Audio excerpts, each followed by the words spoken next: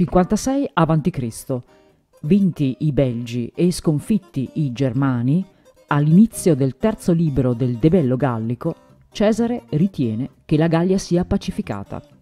Per questo, all'inizio dell'inverno parte per l'Illirico, perché, come scrive lui stesso, eas quoque nationes adire et regiones cognoscere volebat, perché voleva visitare anche quelle nazioni e conoscere quelle regioni.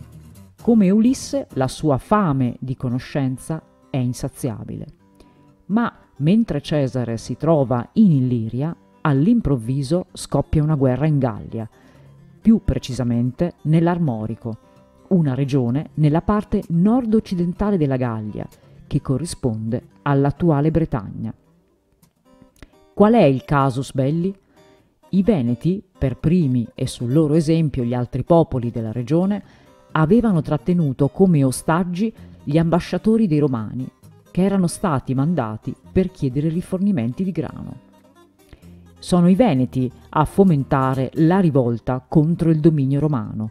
Cesare, Informato di ciò dal giovane luogotenente Publio Crasso, pur restando in Illiria, ordina che intanto si fabbrichino navi da guerra sulla Loira, si addestrino rematori chiamati dalla Gallia Narbonese, si procurino marinai e piloti. Perché?